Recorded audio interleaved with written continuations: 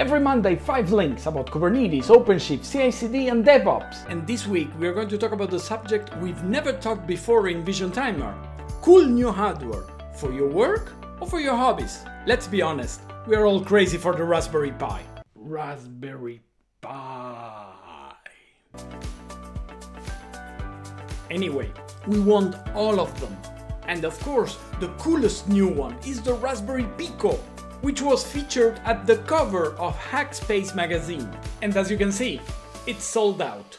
Speaking about the Raspberry Pi, have you already built your Kubernetes cluster with it? If not, you might be interested in the Turing Pi 2, which has just been announced. And if you can't wait, the Turing Pi 1 is available for pre-order now for delivery in April. One of the most disruptive failures one can go through is of course that of a hard drive.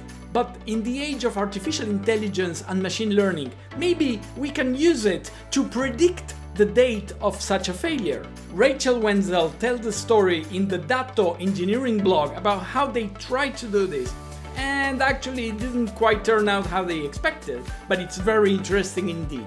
And if your hard drive fails, maybe you can boot from a vinyl record. New job, new year, new laptop.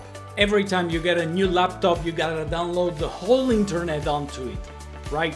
And maybe there's a way we can make that faster? Alabe Duarte shares a very nice tip. If you are a Mac user, why don't you use homebrew bundles for that? Ah, keyboards.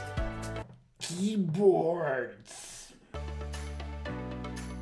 The most emotional of all the pieces of hardware on your desk. These days we have a wide choice for ergonomic keyboards, which by the way are extremely popular among VSHNeers. For that reason we wanna share with you the awesome Split Keyboards page on GitHub, which pretty much contains the whole split keyboard market in one page. And if you don't like split keyboards, why don't you try the System 76 launch configurable keyboard? So as usual, how about you?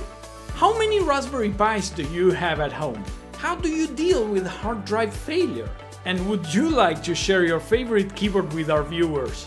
Leave us your comment below, and as usual, subscribe, like and share, and see you next week for another VSHN.timer.